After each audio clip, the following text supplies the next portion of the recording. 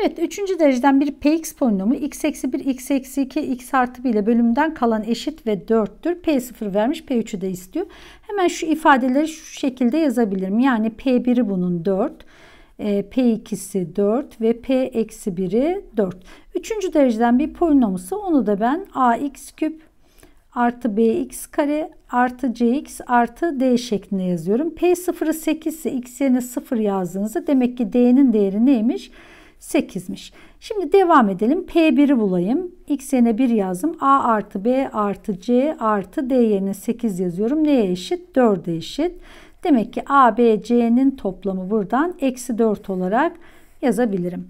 Ee, P2'yi bulayım. Ee, P'ye X yerine 2 yazdığımızda şurada 4A pardon 8A artı 4B artı 2C artı 8 eşittir gene 4'e.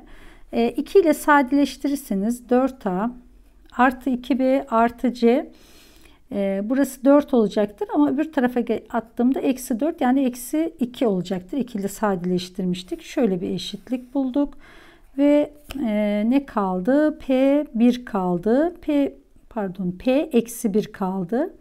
P eksi 1'i yazdığımızda da eksi A e, artı b eksi c artı 8 eşittir 4 olacak. Buradan da eksi a artı b eksi c eşittir. Eksi 4 eşitliğini buluruz. Birinci ve üçüncü eşitliği taraf tarafa toplarsak eğer artı a eksi a artı c eksi c gider. 2b gelir buradan. Eksi 4 eksi 4 eksi 8 gelir. b'nin değeri buradan eksi 4 olur. Bunu şu ikinci denklemde yerine yazıyorum. 4a eksi 8 artı c eşittir eksi 2'ye. Eksi 8'i diğer tarafa attım. 4a artı c eşittir ne oldu? 6 oldu. Şöyle bir eşitlik buldum. Ee, birinci ya da üçüncü denklemde b yerine eksi 4 yazdığınızda a ile c'nin toplamını 0 olduğunu buluruz. Bu iki denklemden de a ve c'yi bulurum ya da isterseniz c yerine eksi a yazın. Eksi a yazarsak 3a 6'ya eşit olur. a buradan 2 olur. Dolayısıyla c de eksi 2 olur. Yani polinomumuz ne oldu?